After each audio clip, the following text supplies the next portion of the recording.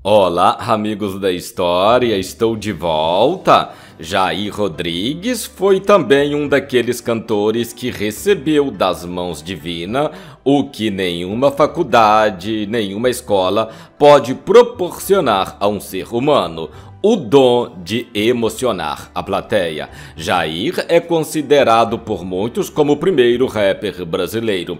Ele conseguiu o status de percussor do gênero por ter lançado, ainda nos anos 60, a música Deixa Isso Pra Lá.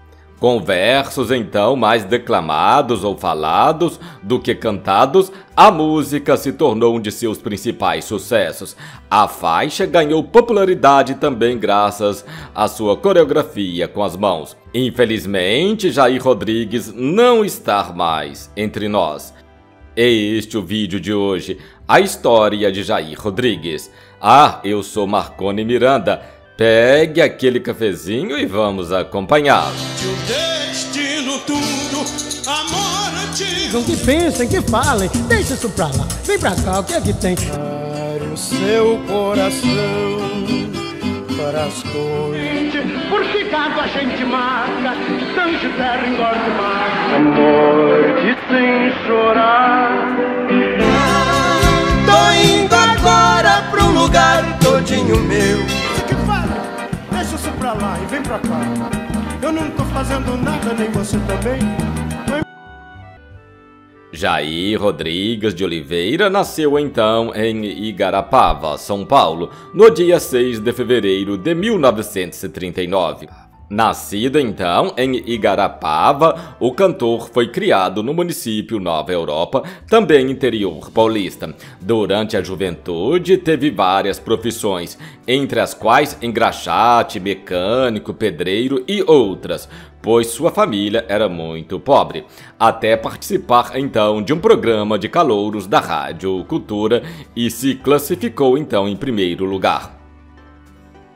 A carreira musical de Jair Rodrigues começou quando ele tornou-se croner no meio da década de 1950 na cidade de São Carlos, lá chegando em 1954 e participando então da Noite de São Carlense, que era intensa na época, também com participações na Rádio São Carlos como calouro e com apresentações vivendo intensamente nessa cidade até o fim da década. Em 1958, o cantor prestou também o serviço militar no tiro de guerra de São Carlos como soldado atirador, número 134. No início da década de 60, ele foi então tentar o sucesso na capital do estado e acabou por participar de programas de calouros na televisão. Com o lançamento então do primeiro LP, o samba, como ele é em 64, fez algum sucesso com o samba. O Morro Não Tem Vez, de Tom Jobim e Vinícius Moraes. Porém, foi cantando em boates o samba Deixa Isso Pra Lá, de Alberto Paz e Edson Menezes, que ele conseguiu um grande sucesso e gravou então seu segundo LP, Vou de Samba com Você Ainda 64. Em 1965, Elis Regina e Jair Rodrigues fizeram muito sucesso com sua parceria em O Fino da Bossa, programa então exibido pela TV Record. No ano de 66, o cantor participou e venceu o segundo Festival da Música Popular Brasileira de 1966 com a canção Disparada de Geraldo Vandré e Tel Barros, empatando com a música A Banda de Chico Buarque. Conhecido por cantar sambas, Jair surpreendeu o público ao cantar uma linda interpretação da canção Disparada. A partir daquele momento, sua carreira decolou e seu talento assegurou décadas de sucesso ao cantor. Nesse período, o artista realizou turnês então pela Europa, Estados Unidos, Japão e outros países. No ano de 71, ele gravou o samba enredo Festa para um Rei Negro, da Acadêmicos do Salgueiro, do Rio de Janeiro. Jair interpretou ainda sucessos sertanejos como O Menino da Porteira, Boi da Cara Preta, Majestade o Sabiá e outros. Fazendo muito sucesso também no gênero sertanejo. Nas décadas seguintes, sua produção diminuiu de volume, entretanto, Jair continuaria conhecido por sua grande energia e sua alegria contagiante. O encontro de Jair e Elis Regina rendeu álbuns que são referências absolutas na história da música brasileira. Trata-se de três volumes de Dois na Bossa. No primeiro, o compositor mais presente é Vinícius de Moraes. A parceria de Elis e a interpretação de Disparada praticamente alavancou a carreira do artista. Foi assim que Jair tornou-se um ídolo na época. Quem mais conseguiria colocar aquela energia com tanta precisão?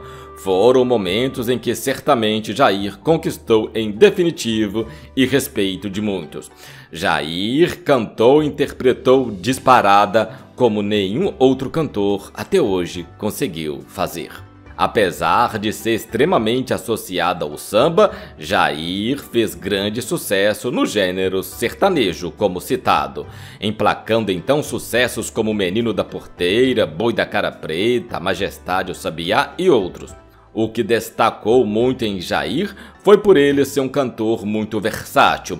Ele cantou muito bem samba, MPB, rap, sertanejo, Quantos artistas conseguem transitar de um estilo musical para o outro com a mesma maestria? Muitos poucos.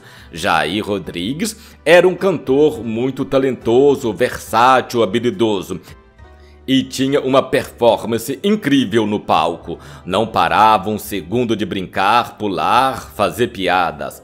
Ele quebrou o formalismo reinante dos cantores de sua época com sua irreverência sem igual.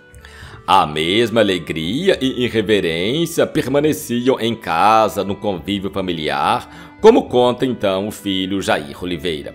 Ele deixou um legado muito grande, não só musical, mas principalmente em sua família e principalmente entre os amigos. A alegria de viver.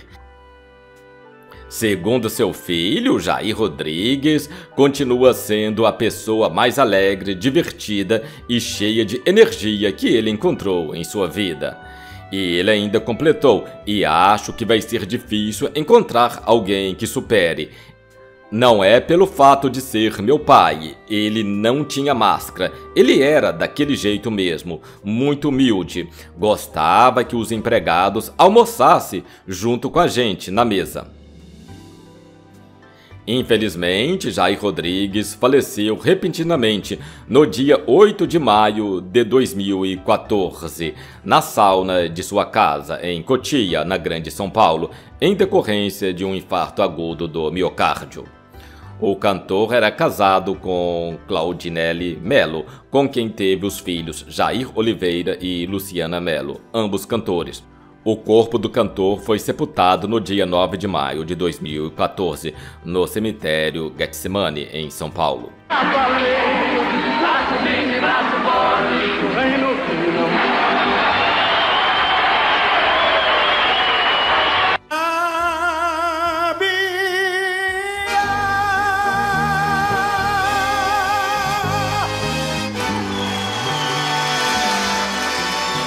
Esta foi a história de Jair Rodrigues. Até o próximo vídeo, estou indo embora, mas eu voltarei!